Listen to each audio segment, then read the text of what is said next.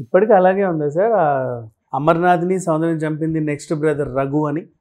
రఘు అనేది అప్పట్లో పుకారు ఉండిందండి. ఇప్పుడైతే నాకు తెలిసే అవేం లేవు. కాకపోతే కొద్ది రోజులు కోర్టులో కేసులు నడిచాయి.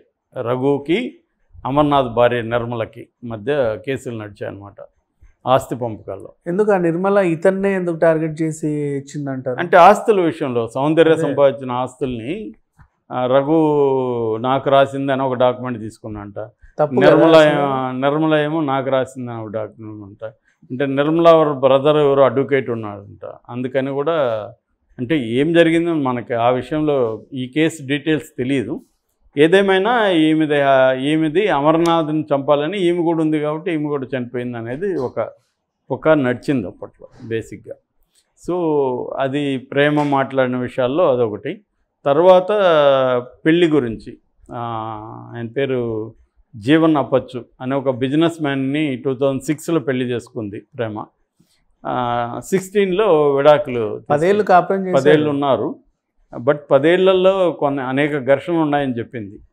పదేళ్ళు పేరుకి పదేళ్ళే కానీ కొన్నేళ్ళకే వాళ్ళిద్దరి మధ్య ప్రాబ్లమ్స్ వచ్చాయని. దానికి ప్రధాన కారణం ఏంటంటే ఈమె కెరీర్ని అతను సపోర్ట్ చేయలేదు. అదే ఆయన బిజినెస్ మ్యాన్ బిజినెస్ మ్యాన్ నువ్వు అట్లా ఇంట్లో కూర్చొని ఎందుకు. అవసరం అనేది అంటారు కదా. కానీ ఈమెకి ఈమెకంటూ ఒక కొన్ని ఇష్టాలు ఉంటాయి కదా.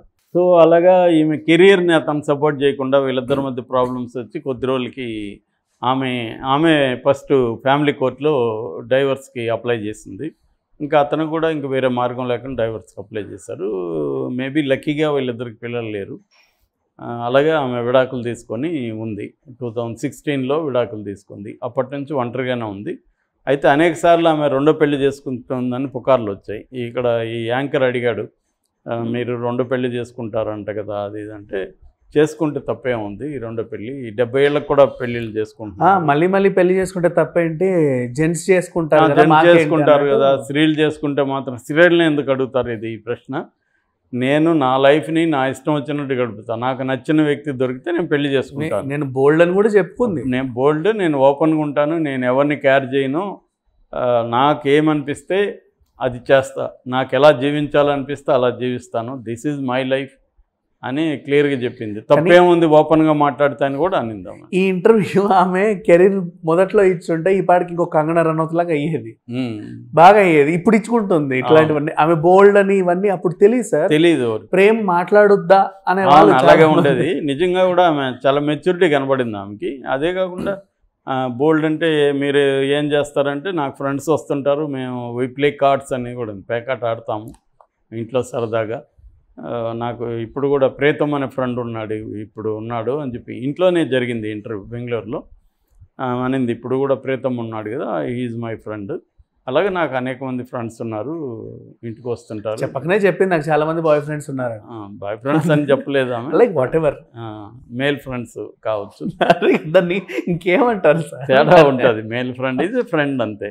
Boyfriend means there is something okay so అలాగా మొత్తానికి నాకు ఫ్రెండ్స్ ఉన్నారు. నా ఇష్టం వచ్చిన నా జీవితాన్ని జీవిస్తా. మేబీ ఇప్పుడు టూ థౌజండ్ సిక్స్టీన్ నుంచి బాయ్ ఫ్రెండ్ లేకుండా ఎందుకు ఉంటారండి ఉండదు తప్పేముంది. దాంట్లో? నాట్ బ్యాడ్ ఏడెనిమిది ఏళ్ళు ఆమె అన్నట్టుగా it is her life she can live whatever in which way she can so అదేం అది ఆమె బోల్డ్గా ఇచ్చింది. అట్లా అట్ ద సేమ్ టైం పిల్లల గురించి అడిగితే నాకు పిల్లలు ఎవరు లేరు రెండు కుక్క పిల్ల కుక్క పిల్లలు ఉన్నాయి. అవే నా పిల్లలు. దే ఆర్ మై కిడ్స్ అని చెప్పింది. సో బేసిక్గా ఆమె ఇండిపెండెంట్గా ఉంది.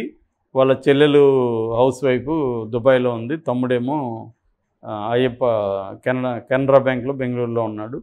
సో ఫ్యామిలీ సపోర్ట్ ఉంది. ఫ్రెండ్స్ ఉన్నారు. She is living her life in her own way అది బేసిక్గా ప్రేమ గురించి. Anyway thank you sir thank you so much ఇప్పటికీ అలాగే ఉందా సార్ అమర్నాథ్ని సౌందర్యం చంపింది నెక్స్ట్ బ్రదర్ రఘు అని. రఘు అనేది అప్పట్లో పుకారు ఉండిందండి. ఇప్పుడైతే నాకు తెలిసే అవేం లేవు. కాకపోతే కొద్ది రోజులు కోర్టులో కేసులు నడిచాయి.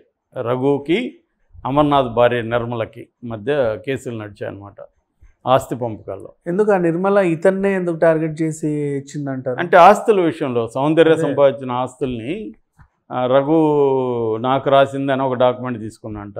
నిర్మల.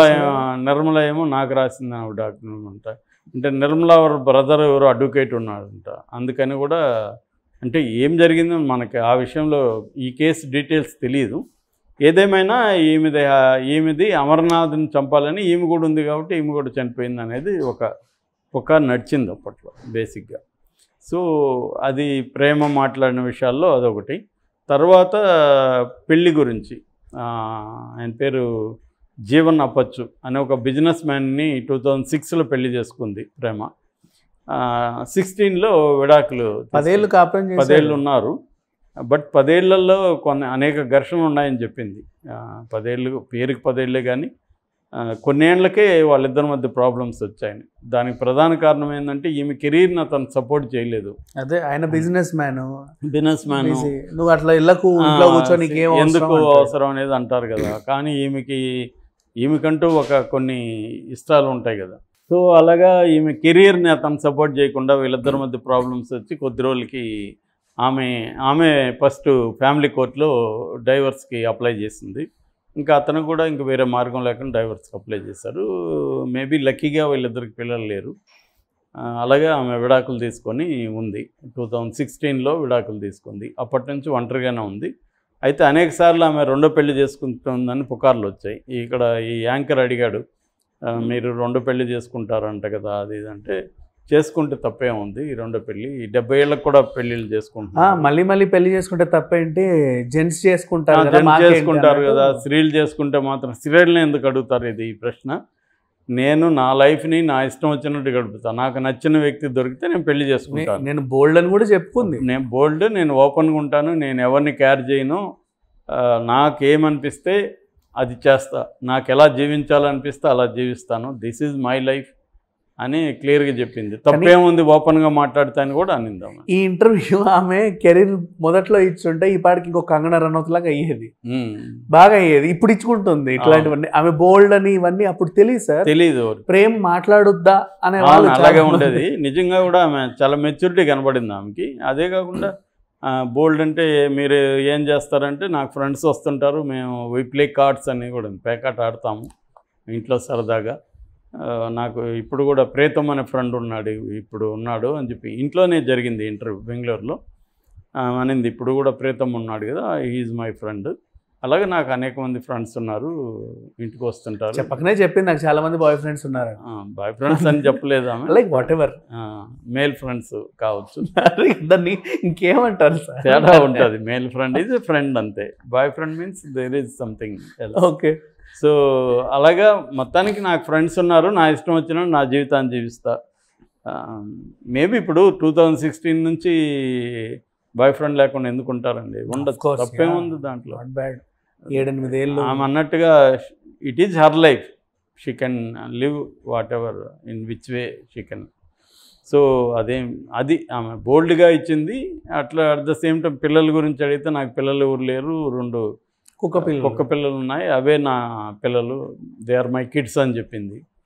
సో బేసిక్గా ఆమె ఇండిపెండెంట్గా ఉంది. వాళ్ళ చెల్లెలు హౌస్ వైఫ్ దుబాయ్లో ఉంది. తమ్ముడేమో అయ్యప్ప కెనడా కెనరా బ్యాంక్లో బెంగళూరులో ఉన్నాడు. సో ఫ్యామిలీ సపోర్ట్ ఉంది. ఫ్రెండ్స్ ఉన్నారు. She is living her life in her own way అది బేసిక్గా ప్రేమ గురించి. Anyway thank you sir thank you so much